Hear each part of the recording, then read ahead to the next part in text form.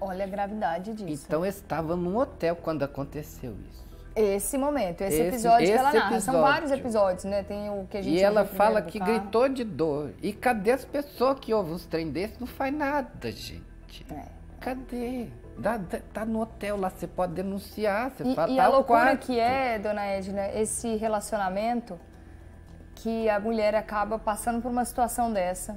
Ela mente para defender o agressor, Uhum. Porque o médico foi.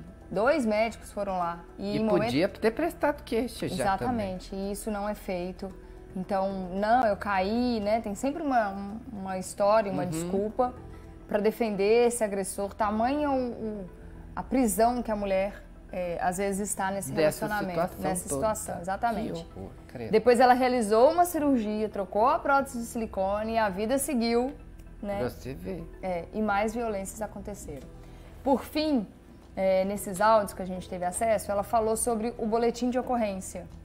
Vamos ouvir também o que, que ela Vamos. fala.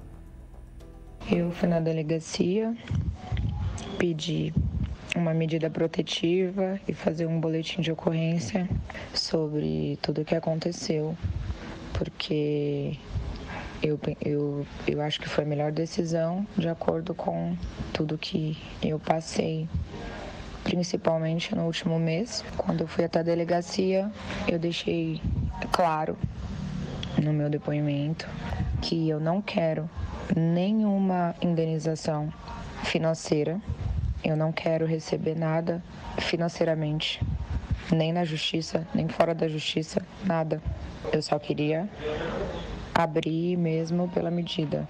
Eu espero de verdade que nesse caso o juiz aprove a medida protetiva E rápido, de preferência, né? É, aí, dona Edna, nas redes sociais, eu entrei hoje nas redes sociais do Anthony para sentir um pouco da repercussão disso.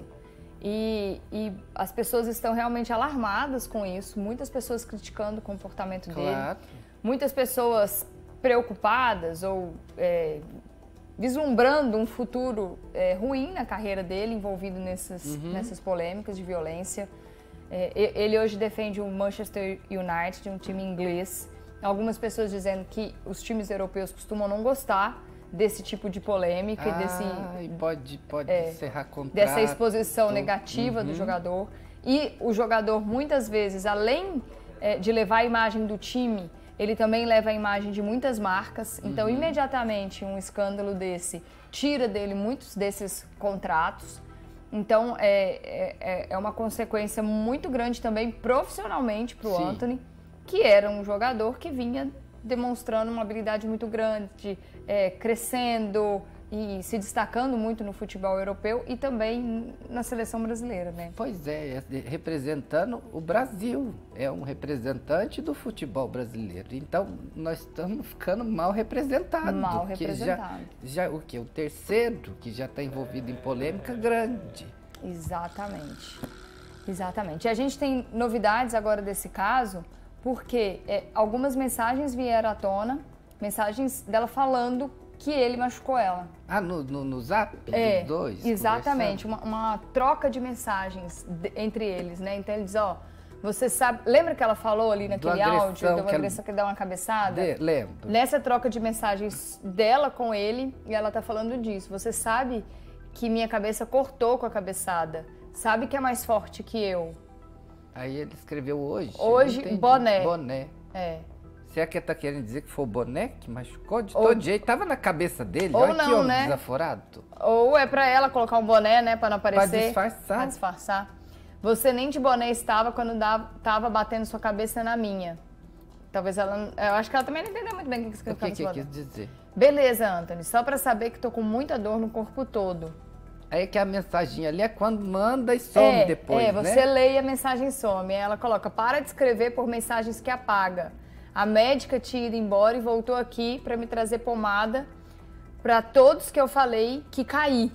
Tá vendo que eu falei? Aham. Que aí o médico vai, atende e ela que conta outra caiu. história. E ele colocou, entendi. Assim, nessa frieza. Você me machucou? Entendi. Você me machucou muito, mas preferia que tivesse quebrado meus dentes. Eu não sei se eu concordo com ela. Não, de jeito nenhum. Mostra que, né, a, a, como que isso afeta a saúde mental é, mesmo, né? É lógico. Para você dizer uma coisa dessa. Relaxa, vou sim, me perdoa e quem te mandava mensagens não manda mais. Fui. Por mais que você nunca me perdoe, nunca mais me desculpe, te peço perdão mais uma vez e fica tranquila que nunca mais vai escutar isso. Se cuida, Gabi.